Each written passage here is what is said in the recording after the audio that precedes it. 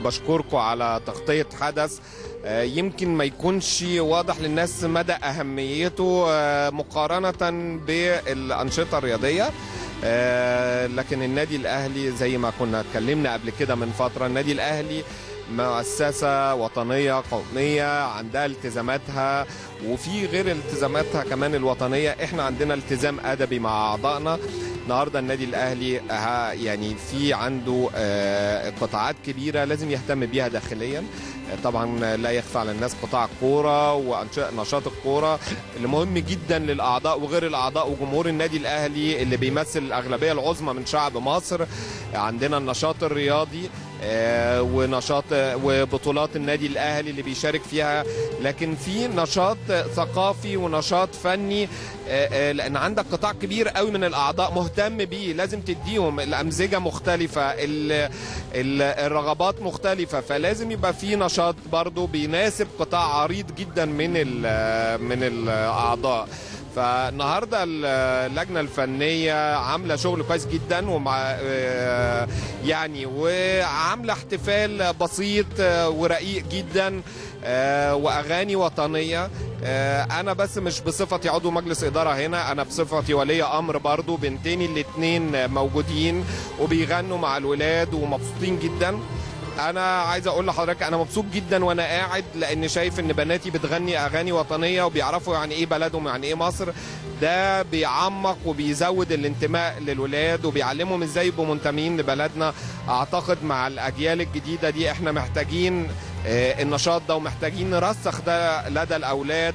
ونرسخ لهم حبهم لبلدهم وانتمائهم لبلدهم ويبقوا عارفين مدى عظمة بلدهم عشان يطلعوا حبنا زي ما إحنا طلعنا بنحب بلدنا ومنتمين ليها. اولا طبعا إحنا بنهني الشعب المصري كله بالذكرى 46 بانسات حرب أكتوبر. يمكن النادي الأهلي أول نادي في مصر كرم أبطال أكتوبر على مستوى الأندية وده كان السنة اللي فاتت. السنة دي إحنا يعني بنعمل حاجة جديدة برضو. إزاي بنربي ولادنا على الوطنية والانتماء؟ وده دور النادي الأهلي. طبعا لازم أوجه الشكر للأستاذ محمد يوسف أخويا ورئيس اللجان لأن ده دورهم. ده اللي قائم على تنظيم ال ال الاحتفالية بالشكل اللي حضرتك شايفه ده. دول ولاد النادي الأهلي وده دور برضو الثقافي. أشكر مديرة المكتبات الأستاذة ولاء عبد الرازق لأنها باذله مجهود بقى لها فترة كبيرة جدا عشان خاطر ولادنا وولاد النادي الأهلي إزاي يتعلموا زي ما بيتعلموا في المدرسة زي برضو دور النادي. بيعلموهم إزاي ال- ال- الانتماء لبلدهم الانتماء ل ل ل يعني التكريم لجيشنا والعظيم في انتصارات حرب أكتوبر. فاحنا عملنا الحفلة دي عشان خاطر ولادنا النهارده يبقوا أهاليهم برضو فخورين بيهم وإن شاء الله بإذن الله دايما مصر في انتصارات يعني. بس. النادي الأهلي طبعا سباق في أي حاجة. النادي الأهلي ليه دور من 1907 دور رياضي دور وطني. دور ثقافي دور اجتماعي دور مسؤولية مجتمعية اللي الكابتن محمود الخطيب المؤسسة اللي إحنا بنسعى وبنتحرك فيها وإن شاء الله بإذن الله تظهر النور خلال الأيام القريبة. فده دور النادي في كل على كل المستويات. إحنا شايفين ال- الدور ده ده دورنا إحنا ده واجبنا. زي ما اللي قبلينا علمونا وزي ما أهالينا علمونا زي ما يعني إحنا اتربينا في النادي كده. اتربينا من أسرة عسكرية. النادي الأهلي في كتير جدا من أبنائه خدموا في القوات المسلحة خدموا في الشرطة المصرية خدموا في الهيئات القضائية. هو ده دور النادي الأهلي. وأي نادي في مصر ده دوره. إزاي النهارده تعلم ولادك الأخلاق؟ إزاي النهارده تعلم ولادك الوطنية؟ إزاي النهارده تعلم ولادك الالتزام بقوانين البلد؟ إزاي النهارده تعلم ولادك احترام المؤسسات ال- ال- القائمة على حماية البلد وخصوصا المؤسسة العسكرية. فده أقل حاجة إحنا بنعملها واللي بنكمل بيه المدرسة برضه. فبقى في نادي وبقى في مدرسة. إحنا اتربينا كده. أنت اتربيت النهارده وأنت رياضي أهم حاجة بالنسبة لك ترفع علم مصر جنب علم النادي الأهلي. أنت بتمثل مصر بره في أي محافل دولية باسم النادي الأهلي المصري.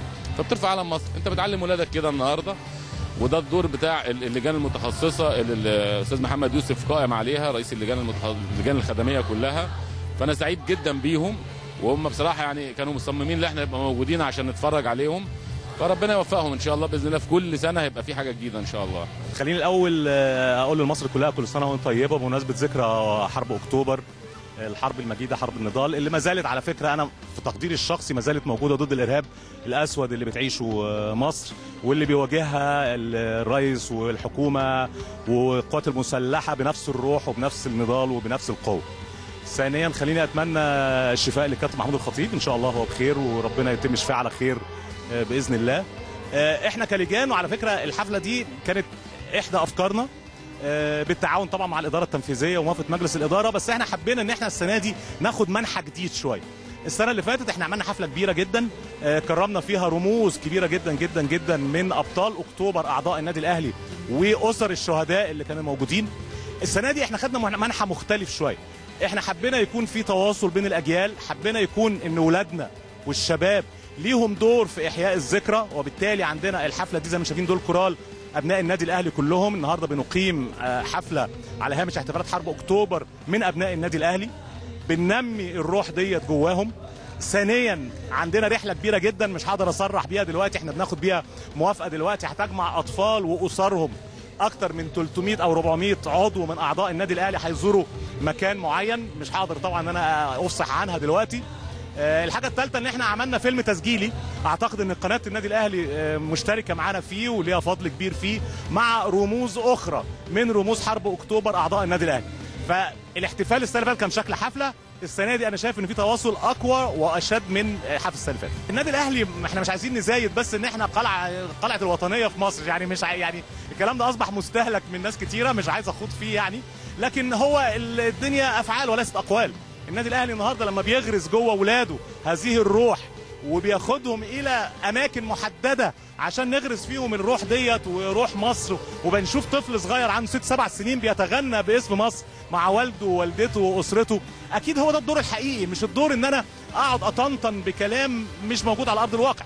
النادي الأهلي هو قلعة الوطنية المصرية منذ ساعة زغلول وما قبل. فيا جماعة خلونا دايما نتحدث بهذا المنطلق يعني.